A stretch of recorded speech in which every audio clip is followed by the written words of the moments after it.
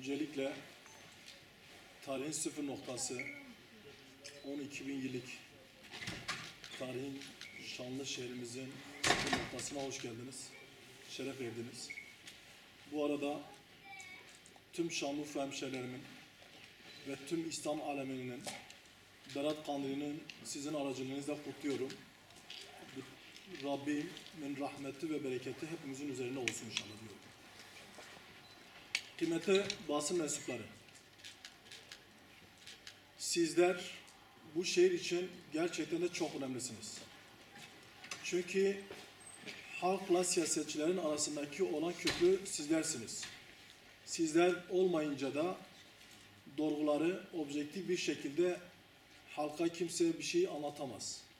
Ama basın mensupları bu halkı gerçek aydın yüzüdür. Öncelikle de sizleri her konuda tebrik ediyorum ve kutluyorum.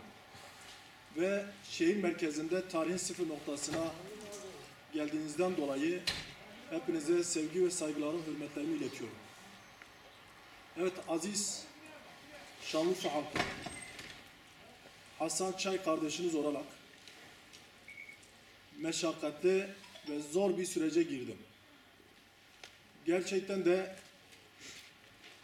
Şanlıurfa Büyükşehir Belediye Başkanlığı'na bağımsız olarak girerken de yaklaşık bir aydan fazla çok düşündüm.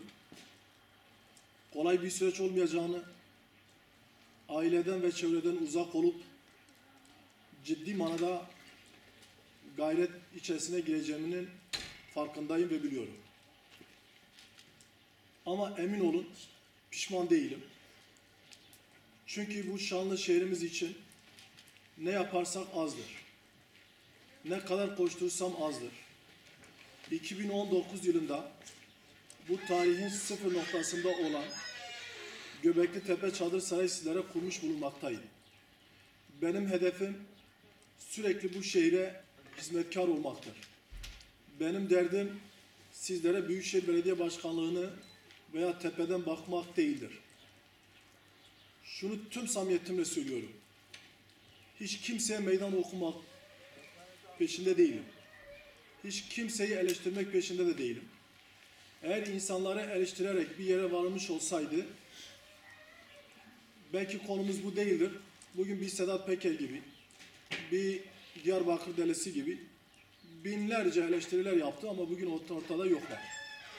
Ben projelerimi ve Şanlıurfa'ya ne yapabilirim? Hizmetimle sizlerin huzurunuzda ve karşınızdayım.